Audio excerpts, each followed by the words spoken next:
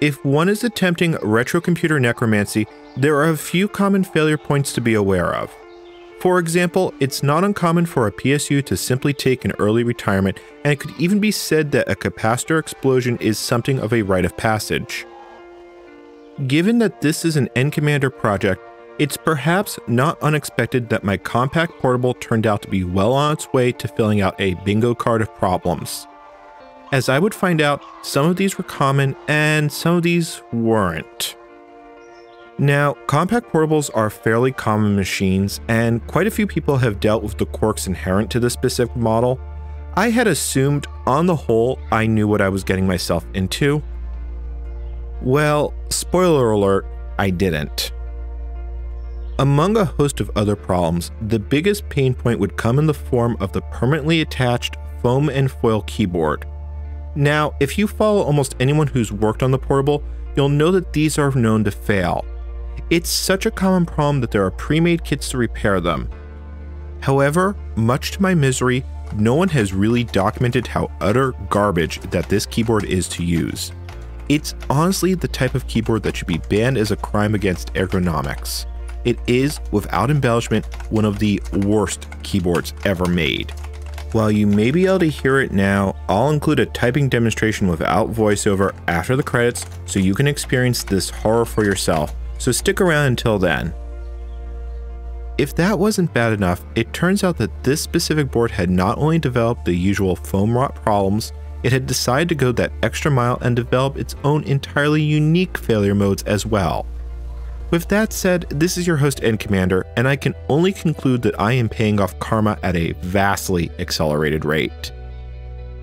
For those who haven't seen it, this is part 2 of this Compaq portable restoration series. If you're interested in just seeing me suffer through rebuilding one of the world's worst keyboards, I provide chapter marks for your convenience. Anyway, to recap, in part 1 we did a full system teardown, some component replacement, and by using a modern ATX power supply, we ultimately managed to limp our way into displaying a bunch of error codes. This meant that all the major system components were at least partially working, but I still had quite a bit more to do before we could even attempt to boot. Early PCs were famously terse with their error conditions, and the Compaq Portable is no exception to that rule. However, given its current state, I actually expected all these errors.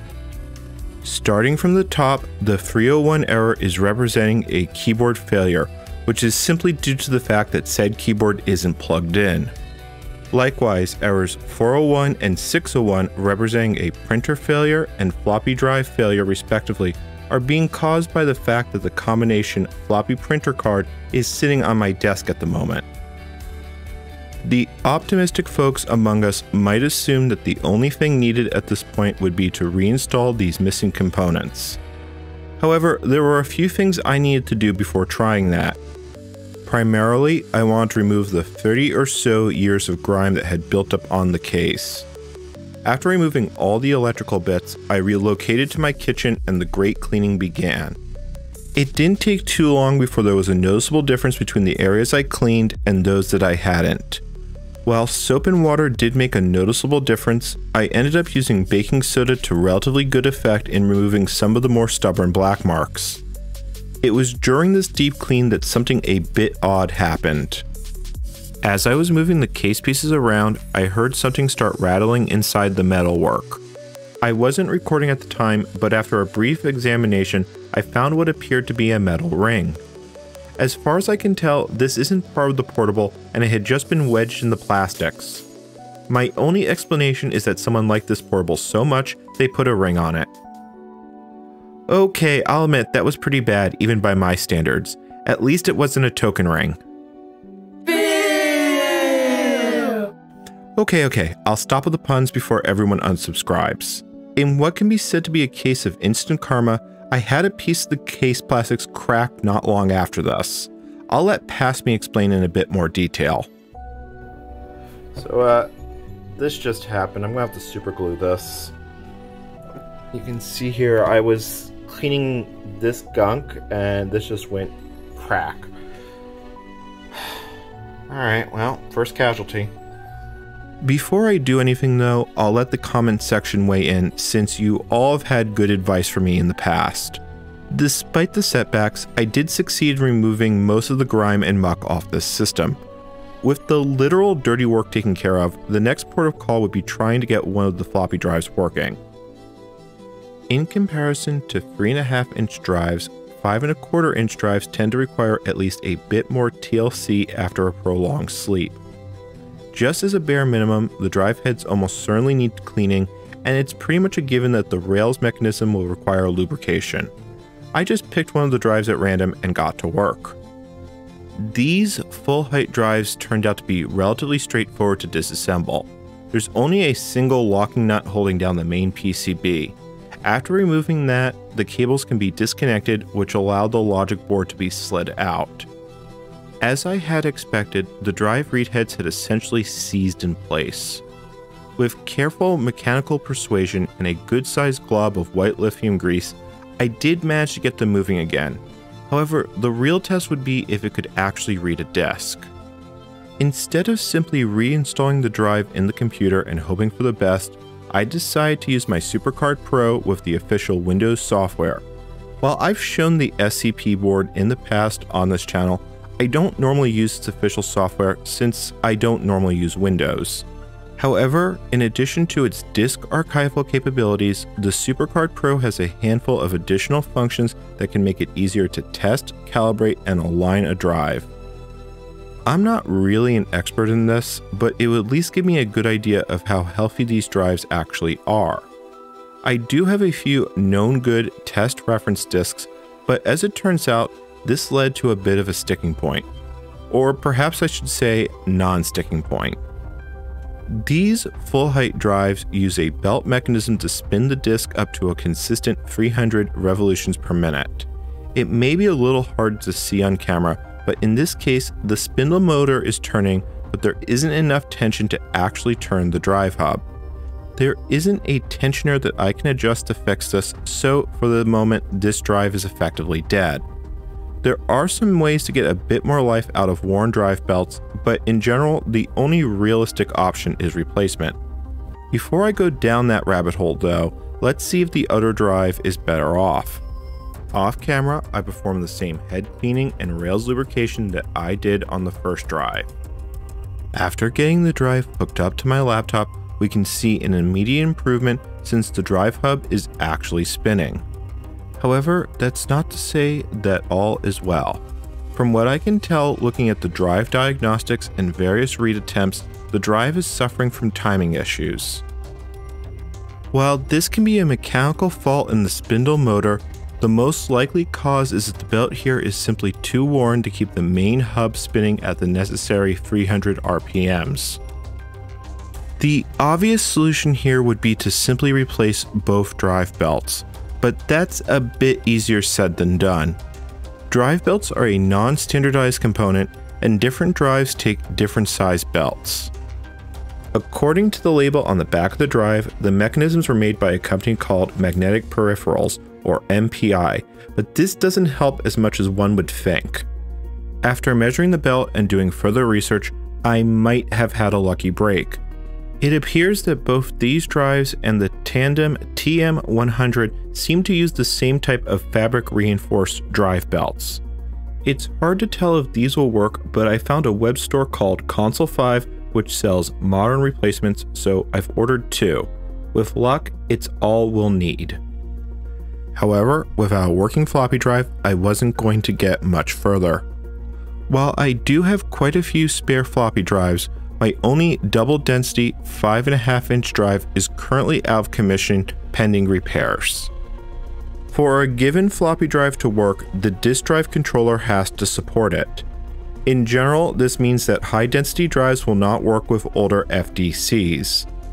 I did try using a high density drive, and while it did spin up, the system continued to report diskette error.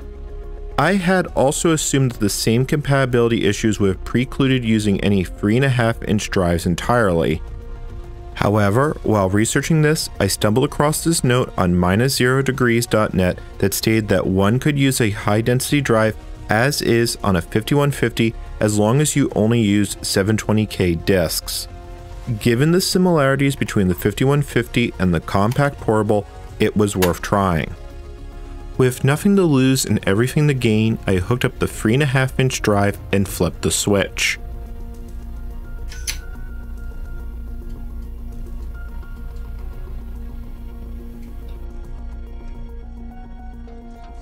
While I didn't quite make it to a command line, the time prompt means that DOS has managed to successfully load.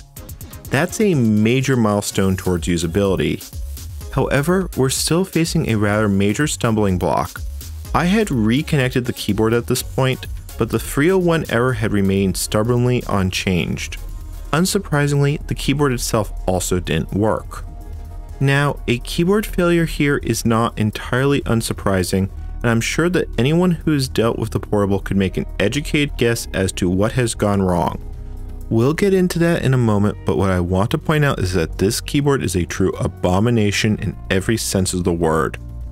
Underneath each key is a spring which provides upward force for both the cap and the key stem mechanism. It's at this point that we get to the first major flaw with this keyboard, which is the unbelievably cheap keycaps. I am not certain if these are ABS or PBT plastic, but in either case, they're both very thin and very flimsy. They also have quite a bit of flex to them, which makes them feel just unpleasant to touch. Given the low quality of plastic, I do consider it something of a minor miracle that I didn't snap any keys through this process. Just like the main case, there was a fine layer of grime on both the keys and the backplate, after wiping down said plate and setting the keycaps to soak in soapy water, it was time to work on the nightmare below. With the keycaps removed, I could unscrew the backplate and lift it out to reveal a disaster zone. This is what's left of the foam and foil mechanism after 38 years and is the primary cause of why these keyboards fail over time. This problem is so widespread that I had actually ordered the repair kit from Tech Elec for this keyboard even before I had started filming part 1 of this project. I gotta be honest, while reviewing this footage, I think in hindsight I probably should have been wearing a full respirator while doing this. These pads are how key presses are registered and over the course of a few decades, the foam layer breaks down and the keys literally start falling apart. Once this happens, the only real solution is to replace the contacts. For anyone who's attempting this, let me just warn you in advance that this is tedious to say the least. Still, at least it was a one time job. Assuming the worst was over, I reassembled the keyboard and then went to test it. However, the 301 error stubbornly remained. Worse, the new keys didn't respond at all. Obviously, something had gone wrong. Due to the capacitive nature of this keyboard, it should respond if I press my fingers to the key contact points. However, once again, I got no signs of life. I admit that this is something that I should have checked well before this point, but unfortunately, I don't always get things right the first time. That suggested that something in the board electronics had packed up. Furthermore, in what is becoming an annoyingly common sentence, the SAM schematic for the keyboard does not match mine. As it turns out, it didn't take too long for me to realize that, at some point, Compaq's hardware design team had taken leave of their senses. This is especially evident when we take a look at how the keyboard signaling is done. As far as the wiring goes, the Portable's keyboard is almost but not quite identical to what's used on the 5150. On the Compaq, we have three lines that provide clock, data, and reset signals which operate at 5 volts, a 12 volt power pin, and two ground pins. In comparison, the DIN connectors used on XT class keyboards have the same free data lines, 5 volts in plus ground.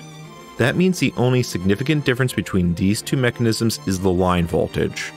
This seems like a rather arbitrary change, but it makes significantly less sense if we take a slightly closer look. If we follow the 12 volt line in, it goes directly to this power regulator, which converts it down to 5 volts. Yeah. All the chips, as well as the keyboard matrix, run at 5 volts. There is an entirely unnecessary power regulator in this design. If we actually look at the schematic for the motherboard, there's a jumper block that can actually change the power sent from the keyboard from 12 volts to 5 volts.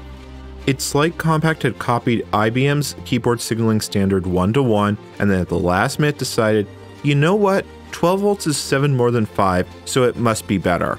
Let's just add a regulator in the keyboard so our 5 volt based design will still work. Maybe the electrical engineers in my comment section can shed some light. Anyway, after my brain finally accepted the sheer insanity of this design, it was time to hunt for dead components. Unfortunately, my camera decided to die during this debug session, but what I can tell you is I was getting very strange results that didn't seem to make any sense. Eventually, I decided to go back to basics and check continuity on the keyboard cable, and in doing so, I learned two things. First, this isn't a straight through cable, instead, the pins are mirrored end to end. Secondly, I found that two of the pins, specifically the ground pins, were not registering at all. That would explain a lot, but it seemed like a very odd failure mode to say the least. However, while dismantling the keyboard, I noticed that part of the cable was being held together with electrical tape. Upon unwrapping the tape and removing what I think was part of a strain relief, I can see some nicks on one of the wires, although admittedly, I can't find an actual break. I wasn't quite ready to hack up this cable to try and repair it, but I did need a way to test if this was indeed the fault. I first soldered a thin wire to the ground terminal on the motherboard, and then I did the same on the keyboard. Then I could connect a series of alligator clips to complete the connection. This isn't a real solution to the problem, but it was an easy way to confirm my findings. After rechecking my work a few times with a multimeter, it was time for a smoke test. After flipping the power switch, we can see an immediate difference. The error code has changed from 301 to FF301. I powered down and then adjusted all the connections, including applying deoxit to the connectors. On the next attempt, I got my first successful boot with no postcodes. With only the base of the keys installed, typing was quite difficult, but the keyboard did seem to be at least partially working. I had to make further adjustments and reseat some foam pads, but I did manage to confirm that every key worked with a handwritten basic program. At this point, all I had to do was reinstall the keycaps. I will note that even fully assembled, this keyboard is miserable to type on. I honestly have never worked so hard to get something this fundamentally broken to work. Still, at least there's a light at the end of the tunnel. Long term, I need to work out a more permanent solution for the keyboard cable than using alligator clips, but at the same time, we're firmly on the way to having this machine fully restored. While I still have a lot of work to do, I was able to load up one of my favorite games of the era, Rogue. I will note that the longer I have let this machine run, the better the composite output signal has gone.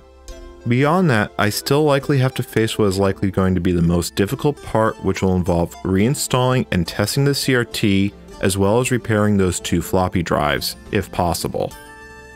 I will also need to figure out upgrades such as installing a full 640k of conventional memory. It's on that note that if you enjoyed this content, I'd appreciate it if you liked and subscribed. If you really enjoyed this content, consider supporting me on Patreon. As usual, you can follow my adventures in real time on Twitter or come hang out with me on Discord. However, before I actually go, here's that typing demonstration I promised you all.